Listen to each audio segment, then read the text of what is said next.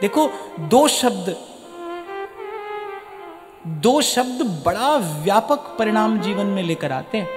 मुझसे कोई पूछे ना, शब्द कोश के सबसे दो महत्वपूर्ण शब्द कौन से हैं? तो मुझे लगता है एक हाँ और दूसरा ना। हमारा निर्णय तो निश्चित करता है ना, हमारा कल, आने वाला कल कैसा होगा? हम किसके लिए आज हाँ करते हैं, किसके लिए ना करते हैं? क्योंकि भगवान ने तो दे दिया, अधिकार कर्म का लोग करो।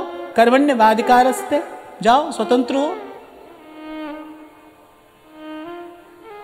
तो ये दो शब्द जो है ना, मुझे लगता है ये ये बहुत बड़ा परिणाम जीवन में ले आते हैं हाँ या ना।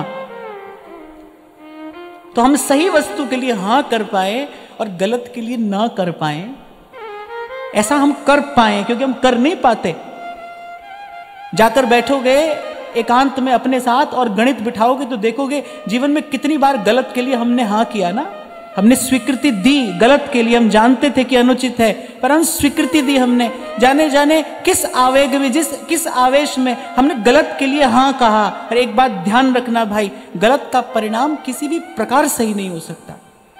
और मनुष्य क्या भूल करता है? एक गलत को दूसरे गलत से सही करने का प्रयास करता है। पहले एक गलत करता है, फिर उसको सही करने के लिए दूसरा गलत करता है। कितनी बड़ी भूल है। गलत से गलत कैसे सही होगा? गलत तो सही से सही होगा ना?